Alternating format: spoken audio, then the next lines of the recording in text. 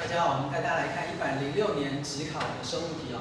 那我们这一段的话是快速解题，那我希望能够在半个小时之内哦，然后解完选择题的这个一到三十五题，加油！那我们开始来看一下第一题哦。那肌肉细胞在组织缺氧的时候，那缺氧的话呢，缺氧就要无氧呼吸。那对肌肉细胞来讲，它的无氧呼吸是属于这个乳酸发酵，所以它的乳酸就会堆积。那其实呢，不管是有氧还是无氧呼吸，一定都会有糖解作用。所以其实它的糖解作用是不会停止的。那因为没有氧，所以丙酮酸其实无法进到立腺体当中啊，所以其实我们就选了乳酸堆积。然后接下来的话呢，何者可利用空气中的氮气？那其实大家一看就知道，会利用空气中的氮气的，其实就是根瘤菌。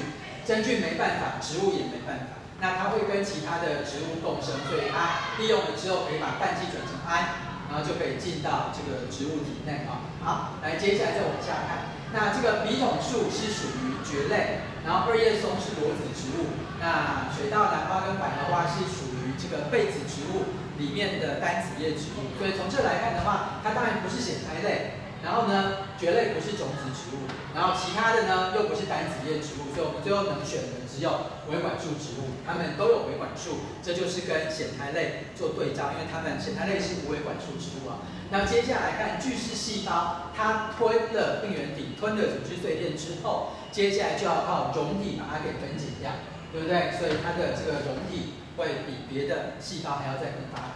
那接下来我们来看有关免疫作用的叙述哦，下列何者正确？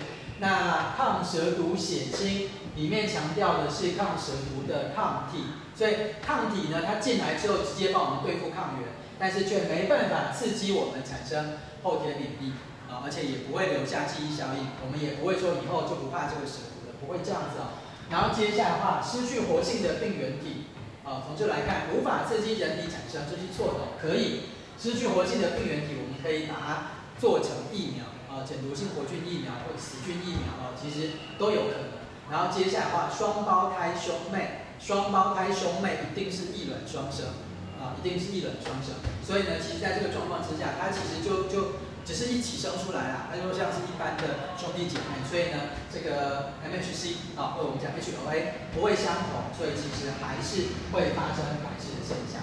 那对花粉产生过敏的话呢，就跟这个肥大细胞，然后呢，接下来组织胺的释出有关系，所以这个属相是对的。来，接下来我们再往下看啊，那人体钠恒定的维持，从这来看的话，这个心房所产生的激素，我想它谈的应该是这个心房排钠素啊，或者叫做心房排钠肽，对不对？那其实它是可以调控对于肾脏的再吸收，是对的啊。好，然后接下来我们再看钠含量多的时候，钠多、水多、血多，血压应该会高，所以这个错了。然后接下来全部酮，没错，全部酮能够促进对钠的再吸收，可是呢，全部酮肾上腺皮质素、矿物性皮质素，所以它写垂直就错了。然后接下来钠的增加会引发肾素的分泌，不是这样子的，肾素分泌了之后，接下来的话会有这个 RAAS，对不对？肾素。啊，血管收缩素，然后全部同系统，然后接下来会促进对钠的再吸收，所以一般来说是钠少才会引发肾素，引发 R A S，到最后促进对钠的再吸收，然后让钠变多。那我钠已经多了就不需要，所以呢它不会引发啊，甚至是会抑制的，所以这个选项是错的。好，接下来再往下看哦，这个某种组织细胞啊，那有没有能力一眼看出来它是属？心肌啊，要能够看出来它是属于心肌。那要看出来它是组织，它没有排列的很紧密，所以它不是上皮。它没有明显的细胞间质，所以它不是结缔。它长得也不是神经的那个模样，对不对？所以它是肌肉组织。那肌肉不是有骨骼肌、平滑肌跟心肌吗？对，因为平滑肌会是两端尖尖的，我看起来皱皱抖抖的。而骨骼肌的话呢，会是多核。那心肌是单核而且有分支。所以从这来看，我们就知道它是心肌之后，接下来就知道心肌它是不随意肌啊，所以没有办法被大脑意识控制。然后呢，催产素能够增加收缩的应该不是心肌，而是平滑肌。然后接下来的话呢，提供它收缩、提高收缩频率的应该是交感神经，应该不是副交感神经。所以画完以后先加 B 哦。那特化之后。指的就是节律点哦，能够产生自发性的动作电位，然后刺激心肌，大家一起收缩啊，所以这个选项是对的。接下来再往下看，固醇类激素的叙述。那固醇类本身是脂溶性的，所以它其实可以长驱直入，通过细胞膜进到细胞里面去，所以它不需要跟膜上的受体结合。同样的，它也不需要第二传讯者，对不对啊？这两个都是属于蛋白质类的激素。然后接下来 B 选项啊，这个生长素它是属于蛋白质类的激素，它不是胆固醇衍生的激素啊，所以其实呢这个就错了。然后接下来呢，固醇类的话，它的作用机制会去开启基因的表现，因为它会形成激素受体复合物进到细胞质当中，然后呢就让基因开始转录，那么基因就会表现了。这个选项是对的。好，接下来往下看原核跟真核的基因表现呢，那我们就可以看到的是这个转录之后，这个 mRNA 的修饰，这个是属于真核。然后接下来原核它根本没有核膜，也没有细胞核这个概念，所以转录跟转移都在细胞质。那接下来的话呢，大家都是核糖体，对，没有错。虽然说原核跟真核的核糖体成分不尽组成不尽相同，一样都是 RNA 跟蛋白质啊。那但是不一不不是一样的东西，但但是毕竟都叫做核糖体，啊，所以这个选项是对的。那真核比较复杂，啊，虽然也会有启动子啊、构造基因啊，但是它不是这么单纯的操纵组，啊，借由诱导物或共同抑制物就来控制，它没有那么单纯啊，所以就花光了，只剩下在核糖体上进行转移是对的啊。接下来胆汁的相关叙述，那胆汁其实不是只有胆汁，消化液一般来说啊，那会受到神经跟内分泌的双重调节。那只是有时候哪个明显哪个不明显，那但是呢，我们就胆汁来看的话，对，啊，它直接的反射就会有胆汁的这个分泌。那另外的话呢，会有啊直接的反射到你指的就是神经，然后另外会有激素来影响它。好，那到底是哪些激素呢？来，我们等一下下面就会有。那胆汁呢，它是肝脏制造出来的，所以它讲胰脏这就错了啊。然后接下来胆汁是消化液，但是不含消化酶，所以它没办法把脂肪分解成小分子。它只能够把大的油滴煮化变成小的油滴而已啊，所以是物理消化，是增加表面积而已啊。然后接下来的话，胆囊收缩素，顾名思义是促进胆囊收缩而已啊，它没有办法促进胆汁的生成，这个胰泌素才可以啊，胆囊收缩素不行。好，接下来往下看，那往下看的话呢，哦，怎么回事？啊，往下看的话，这是个题组，那这边就是讲到这个 FDA 它全球核准的首个这个基改的肉品，也就是鲑鱼肉啊。那它有很严密的研究跟调控的过程，那但是比较是情感的问题，而不是理智的问题。像我本身是觉得它是安全可视的啊。好，我们先不管这个，然后我们仔细来看哦。那从这来看的话，现在叙述何者正确？那这一些基改鲑鱼呢，体内来自于抗冻蛋白没有，抗冻那个只是当做它的启动子。哦，我们因为快速，所以我没有带你看刚刚这段文章哦。这段文章的话，大家要自己看哦，自己看。好，那它的重点呢？并不是要让抗冻蛋白增加，不是。然后接下来的话呢，也不是要让它抵挡低温，它是要让它就算低温也能够长。简单来讲是要让它生长啊。然后接下来这个也是乱讲，什么具有抗冻能力的生长素没有这回事了啊。它只是用抗冻那个的启动子，重点还是后面的生长素啊。所以它主要改良之后，基因改良之后，主要就是因为生长素啊，生长激素。让它中间不用没有休息停滞的时间，能够一直不断的长，然后呢也不会长得特别大，就是长得一样大，只是会长得比较快哈。那别人可能要长这个两年半或三年，他可能一年半就长得很大了啊。好，接下来的话就是讲啊，如果白色长方形是启动子，然后接下来呢灰色长方形是生长激素，那这题要考的就是五端到三端来看的话，这个启动子要在前面，然后呢构造基因要在后面啊。所以我们就选 A，啊，就是这样子。好，来，接下来往下看啊，显微镜观察动物的血液普遍。那从这来看这个十啊，那它呢不会是 mm 啊，mm 的话是十的负三次方，也就是公里。那公里就表示就等于是尺上面的小刻度，那我们肉眼看得见啊，问题是看不见啊，所以它应该是什么？它应该是 mm，应该是 micro，啊，应该是十的负六次方。以细胞指的应该是红血球，对不对？应该是红血球啊，那这是白血球。对不对？这数量最多的啊，而且中间亮亮的，应该是红血球。好，那它可以吸带氧气，它也可以吸带二氧化碳。然后接下来的话呢，讲这个细胞呈现多叶状，那是因为白血球有部分的颗粒球，它的特征就是这样。你看像这个可能是淋巴球，对不对？或是这个呃单核球啊，可能是淋巴球，那它的核就好好。对不对？那这个核就分成这样。那你不要被骗呢，不要想说啊，对它真的在分裂，所以核先裂开了。不是这样啦，大家不要被骗了。细胞分裂我们学过，分裂前核膜核仁会消失，对不对？本来就不会什么核裂开这么多，不是这样的啊。来，接下来我们就看到，哎，为什么猪选项是对的？不可能是青蛙血制成。回到我刚刚讲，为什么说这个看起来是红血球？因为它中间比较亮。为什么？因为中间比较薄，中间比较透光，所以我们在光学显微镜下看会比较亮。那青蛙的血它是椭圆形，而且有核，啊，它是比较尖尖的椭圆形，然后中间有核，啊，所以中间颜色比较像是这样子，哈。好，来接下来我们往下看哈，有关演化的叙述。那图片呢，常常对生物有害，没错，对个体有害，但是就族群来讲，它会提供这个新的性状。啊，所以长期来说，对族群、对演化来讲是有利的。然后接下来呢，这个正在演化的族群不符合哈文定律，这个是对的啊，因为哈文定律描述的是一个不演化的理想族，所以反过来说，在演化的族群就不是理想族群，就不符合哈文定律啊。然后接下来的话，他这边讲到这个人类大量使用抗生素，我们不是要人则故意筛选出有抗药性的细菌，不是。而是我们用下去之后，就改变了它的环境条件，筛选出了适者，所以这是一个这个天择的作用结果啊，这是一个一个天择的作用结果。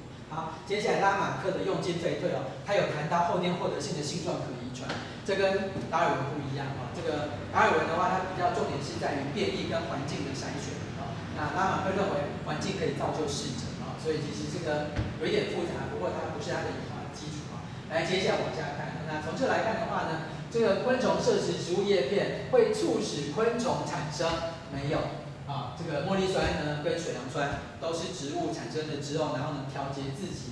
所以他这边讲到水杨酸导致病原菌细胞闭增后都没有，它影响的都是植物自己，而不是影响这个病虫害，都不是啊。然后接下来我们就可以看到，这个植物受感染之后，然后就死掉哦，对，没有错，等于是我死掉了，然后呢？伤害就到我这边为止，对不对？病原体可以就困住，跟我一起死掉，跟我一起脱落，啊，或者就可以至少可以防止它的蔓延，所以这个选项是对的。然后接下来的话呢，从这来看的话，这个是属于这个生物防御的机制，啊，不是化学防御的机制，所以我们就把它划掉。来，接下来往下看，啊，我这样讲的太慢了，对不对？啊，我还说半小时要讲完，天啊！来，会不会刚会半小时只讲完单选？然后从这来看的话，我们要看的是甲这个位置啊，甲这个位置。那它这样上去的时候呢，是钠离子通道比较，钠离子的通透性比较大，这时候钠离子通道打开，对不对？所以有没有？这时候钠离子通道，就是对的。C 选项很过分啊，我们一般来说没有错，这个时候钠都已经跑到里面去了，所以里面的钠是不是比较多呢？在膜的两侧是这样，可是你整体来看不是这样，因为包外的钠离子浓度非常非常高。所以我们才会在讲这个细胞外溢体液的恒定的时候，离子我们就以钠离子为例，对不对啊？那钠钾帮补它没有停止作用，它一直在作用啊。只是我们相较于钠离子通道开启，钠离子通道开启，它其实一直在做事情。来，接下来我们看到，那它其实呢在配对的过程当中，对不对？然后我们就可以看到这个黄色圆形的豌豆，然后接下来跟这个绿色皱皮，那绿色皱皮简单来讲就像是视胶。所以呢，一定就是小 r，然后呃，它是先 y，就是小 y 小 r，对不对？就是小 y 小 r。然后接下来得到的是一半是黄色圆形，一半是绿色圆形，所以表示什么？一半黄一半绿，全都是圆。那我要一半黄一半绿，所以我要一大一小，才有可能接触到小的之后，一半黄一半绿。那另外全都是圆，那我一定要这样。对不对？因为碰到小的，我还是一形而子，还一样是圆。所以从这来看，有没有大 Y 小 y 大而大 r 有？对，答案就是这个，对不对？好，我们往下看好，干扰素。那干扰素的话呢，是保护性蛋白，是属于非专一性的啊。然后呢，它分泌出来是影响别人，而不是造福自己。然后接下来它对付的不是细菌，而是病毒。然后呢，影响别人怎么个影响法？让它能够赶快基因表现，能够合成一些抗病毒的蛋白质。所以答案就是 D 的哦。往下看，那这个基地开发，那基地开发之后呢，当然就破坏了多样性，就会下降，对不对？然后接下来的话呢，这个边际效应，当然这个人为的道路开发的边际是伤害的，是伤害的一种效应啊。不过没有错，开发下去之后，道路边缘的一些对环境的扰动程度就提升了。然后增加基因交流的机会没有，开道路增加的是人类交流的机会，对自然的生物来讲，你把它阻绝了，它可能没办法交流啊。那当然会影响啊，会持续的影响，所以这个不是一件好事，就会让基地零碎化，这是坏事啊。来，接下来我们看最后一题，组织培养。那组织培养如果够厉害，你一眼就知道这个它是细胞分裂素跟生长素，所以它这边讲的 GK 素就化掉。那但是他讲的重点是在于这个 X 组织长出芽，对不对？所以你就会知道答案就是 A 了，是不是？因为细胞分裂素跟生长素会让它分裂成一坨未分化的细胞，叫做愈合组织。然后接下来呢，提高生长素的浓度会生根，提高细胞分裂素的浓度会发芽。哦，所以从这来看的话，答案就选 A。来，接下来继续往下看这个多选题。那从这来看的话，酵素处理之后，哪些有可能是遗传物质的供应者？所以从这来看，我们发现最大的重点是丙不见了。有没有看见？所以表示这个东西被 RNA 水解酶给水解之后会不见，所以表示的遗传物质是 RNA。那从这来看，你就要知道谁的遗传物质是 RNA。所以从这来看，大肠杆菌是 DNA，是菌体是 DNA，流感是 RNA，艾滋病毒是 RNA，白喉杆菌是 DNA。啊，所以我们就选了这样的答案。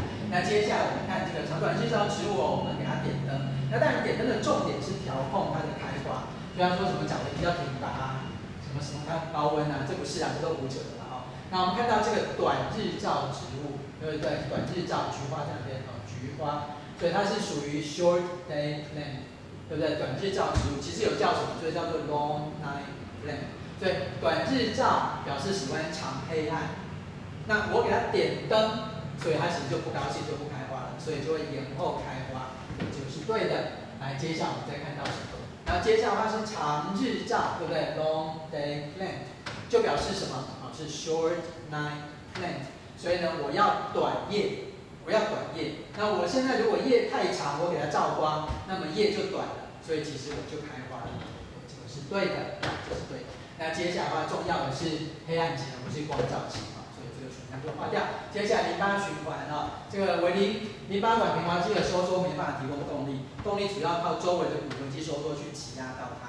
啊，然后另外还有瓣膜的主打，所以从这来看有瓣膜耶，对耶，可是他说是双向，那就错了，对不对？它不是双向，它是控制它的流向，所以是单向的。好，然后接下来的话呢，这个小肠内的乳糜管是属于，对，呃，小肠内的乳糜管是属于淋巴管，那它可以用来干嘛？用来吸收脂溶性的养分，那这脂溶性养分是以乳糜小球的状况存在，所以它才会叫做乳糜管。对不对？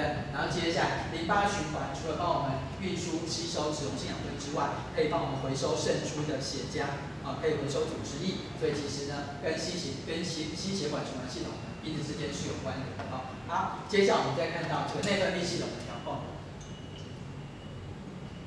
那内分泌系统的话呢，它其实呢会受到下视丘，对不对？下视丘可以说是整个内分泌的制高点，啊，所以它是会受到神经系统的调控，因为下视丘是属于神经。系统。好，然后接下来的话呢，我们再看这个黄体素减少的时候会让子宫内膜剥落，这是对的。好，那另外的话呢，这个 C 选项错在哪边？抗利尿激素它是下视丘合成，啊，在脑髓腺后叶站左根释出。然后接下来通酶激素生理时钟没有错，啊，然后这个胰岛素能够促进细胞吸收葡萄糖，所以它才能够降血糖，对不对？好，接下来我们再往下看。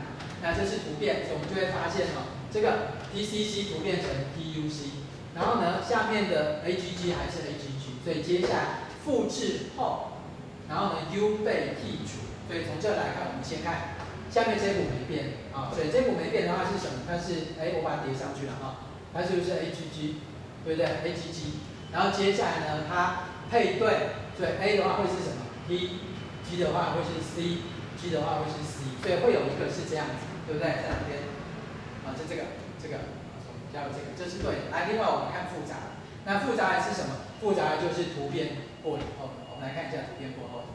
那图片过后的是什么？就是变成 TUC，对不对？它是变 TUC，然后它会配对，配对下来会变成什么？T 会跟 A 配对，U 也跟 A 配对，C 会跟 G 配对。好，接下来 U 被剔除，啊，U 被剔除。对不对？这个 U 被剔除，剔除之后，然后呢，依照现在相对的碱基进行修复，现在相对的碱基进行修复，所以 A 上来会变成什么？A 上来会变成所以它的答案是 T T C A A G，所以是这一个，啊，所以这是这样子。好，接下来往下看各种动物的特性啊。然后呢，石虎是原生种啊，硬骨鱼是以鞍的形式，没有错。然后水藻的话呢，它快速跳动呢是在背部。黑面琵鹭当然是属于候鸟啊，冬天会过来的候鸟啊，对不对？然后接下来水螅是刺胞动物，消化腔只有一个开口，它是口也是肛门，东西从这里进来扎眼就出去。好，来接下来往下看，二氧化碳在人体血液中的运输有关。对，我们可以看到二氧化碳在人体血液中。很跟很多的蛋白质都有关系，所以从这来看的话呢，血红素不要想说它是运氧哦，它的氨基那一端啊，其实是可以跟二氧化碳形成碳基氨基血红素。碳酸甘酶当然是因为主要的是二氧化碳跟水，然后化合成这个呃碳酸再解离，像 HCO 三负。好，那接下来的话呢就是来卵跟这些都没有关系。好，接下来再往下看呢，这个消化系统的调控。那淀粉呢，其实它唾液淀粉呢口腔就有了，所以从口腔就开始啊。那唾液分泌的调控中枢是脑干，再不然讲的是眼脑。然后接下来的话呢，这个蔬菜细胞壁的主要成分是纤维素啊，人类包含所有哺乳类都没有办法分泌分解纤维素的酵素。肝门静脉对，没有错，因为肠胃的血液会肝门静脉到肝脏，肝静脉再下大静脉，再回到右心房啊。然后接下来呢，胰泌素是十二指肠所产生，对，没错，胰泌素可以促进肝脏制造胆汁，促进胰脏分泌胰液啊。所以这个选项是对的。好，再往下看啊。那从这来看，用草蛉的卵啊，然后就会孵出来，因为草蛉卵已经变成商品可以卖。然后接下来就会孵出草蛉来，幼虫跟成虫都会吃蚜虫啊。那它就直接去捕食，他就看到它，然后他就把它吃掉。它没那么厉害啦啊，而且性费洛蒙有物种跟物种之间的专一性啊，草蛉没那么厉害，会分泌蚜虫啊。然后接下来你长期施用，当然对环境会有影响啊。没事放一些生物在这里，当然有影响啊。然后接下来的话呢，我们就可以看到生物防治法本来就要花比较长的时间，哦，所以呢它本来就比较不能够立竿见影啊。那另外的话，草蛉跟蚜虫之间的关系呢是掠食，啊，菟丝子跟其他植物之间的关系是寄生，啊，所以这个就划掉了。然后接下来的话呢，我们就可以看到，对，没有错，这个它草蛉卵就是草蛉出来就会去吃蚜虫。所以其他的专业性是比较高的。那农药下去的话，就会杀死很多，那专业性是比较低的啊。好，接下来往下看，那这是兹卡病毒啊。所以从这来看，我们看到几个重点，它会感染进来，对不对？然后跟受体结合。然后另外的话呢，它是单股，而且看到它的部分编码 AUC 就表示有 U，表示它是 RNA。然后这边看到防止蚊虫滋生是最主要的防治方法哦。所以我们就开始看题目。从这来看的话，我们就发现它是一个单股的 RNA 病毒。对不对？那你说啊，我要背哦，你如果能够背当然最好。可是他刚刚的题目有给你暗示，有没有发现啊？然后接下来的话，病毒本来就是会感染专一性特定的宿主啊。然后另外的话呢，病毒其实本来就是会，你看，呃，一触则不达嘛。好，然后接下来的话呢，它没办法在宿主细胞外独立增殖哦，是不是要重新校正？好，所以其实呢，它没办法哦，没办法。那另外的话呢，刚刚有没有看见？它其实是不是靠受体媒介的内吞作用，所以也是属于内吞作用，所以它是经由内吞作用，然后进到我们的细胞内。那内吞作用的话，它要跟我们的这个受体结合，所以这个就跟它的抗氧蛋白有关系。所以你如果真的把它去除的话，它其实是会降低的，啊，就会降低它的能力。来，接下来往下看啊，那往下看的话呢，它基本上透过蚊虫叮咬，那就是因为有血液的关系啊，所以一般来说的话呢，如果你透过输血。讲的凶狠一点的话，书写是不是也有点像蚊子吸血，然后再到那边去？这样听起来怪怪的啊？不过这样的话，至少可以让我们发现它是有可能会被书写感染的。然后接下来的话呢，这个这个是有专一性的，对不对？登革热抗体应该对登革热啊，办法对到斯卡病毒。然后接下来这边就讲到刚刚的那个题干有说，对不对？这个蚊虫的部分，所以它不是借由接触传染，而是借由蚊虫当做媒介，进入蚊虫的叮咬。那既然跟蚊虫有关，所以暴雨过后的话，很多地方都积水，结局就会讲啊，所以就有可能能够会加重疫情。那另外，如果你有想办法让它的受精率、让它的孵化率、让它长不好，那当然疫情就可以受到控制了，对不对？好，接下来我们再看。好，我们来看到植物体的两种包气的示意图啊，所以你要能够够厉害，一眼看出来这个是叶绿体啊，然后呢看出来这个是立腺。然后呢，甲是外膜跟内膜中间的膜间腔，啊，比较没有什么用。那乙呢，乙是基质，啊，乙是基质，那丙呢？丙的话是这个叶绿丙啊。然后呢，对立线体来看的话，丁是外膜跟内膜中间的膜间的空间啊，它跟化学渗透磷酸化作用储存质子有关系。那但是这一题比较没考那么细。那物的话呢，物是基质啊，所以我们大概就知道这一些，开始来看题目。那电子传递呢，主要是发生在这个叶绿丙的构成叶绿丙的囊状膜叶绿囊，或者是立线体的内膜啊，所以这个选项是对的。然后接下来我们再看到水的合成，那碳反应的话会合成水，那碳反应的话是在基质在底。那另外的话，立线体是电子传递，最后氧当电子的接收者，也会容纳质子，也会形成水。那但是呢，他说在这个丁就不对啊？那个比较是电子传递，比较像是 A 讲的物啊，所以这个选项我们就把它划掉。那乙区产生的糖，它分解成丙酮酸是在细胞质啊，所以不是在立线体里面。然后呢，这个我们看到二氧化碳在乙区，它会变成三碳化合物，没有错啊，进入卡尔文循环啊，所以它叫做三碳那但是不是异化代谢，它是合成啊，它是同化代谢。那这两个都会产生 ATP，对，没有错。好，来接下来往下看。那往下看的话呢，是不是有点秀？好，没关系。往下看的话呢，这个这个植物激素的话呢，它我们现在发现都是小分子有机物啊，就是没有是蛋白质的。然后接下来的话呢，激素间对植物。激素彼此之间是有的啊，例如说这个就顶芽优势来说，生长素它会这个促进细胞分裂素会抑制顶芽优势。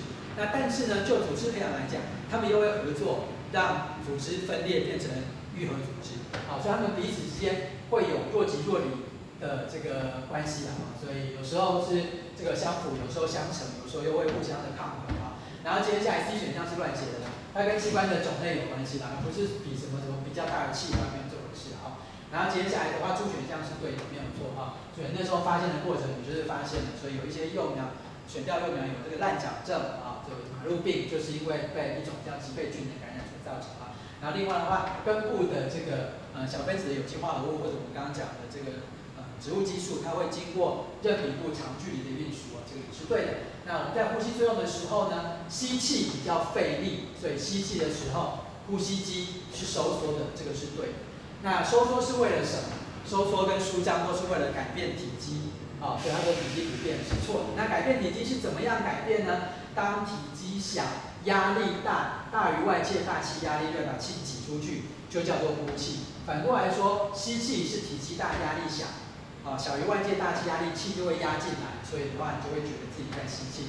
那呼气的时候比较放松，对，所以呼吸机是放松的。啊，那额外的要多呼出气的话，肚子就要用力，能够让你的胸腔变得更小，特别是把你的往上顶啊。所以答案是这样子。来看到最后一题哦。所以从这来看的话呢，异型核子越多，啊，大 A 小 A 越多的话呢，遗传多样性就会越高。那如果都是同型核子，如果都是大 A，那就没有小 A；如果都是小 A，就没有大 A。那还要刚刚好，有大 A 又有小 A，那很麻烦嘛。所以异型核子多，它的遗传多样性就高啊，就听起来是很合理的。那演化史的各个时期当中呢，物种会多会少，会少会多，啊，会多会少，所以它不是明显的递增或者是递减，所以这个就划掉。那但是就人数来讲，现在的生物多样性真的是低到底，只剩下我们 Homo sapiens sapiens 啊，只剩下我们。那一路上的这个丹尼索瓦人啊，这个哈比人啊，然后这个尼安德塔人啊，克罗马农人啊，都没了。啊，当然有人说我们是克罗马农人。然后不过不管，反正现在只剩下一种，所以它的这个多样性是逐渐降低的，这个是对的啊。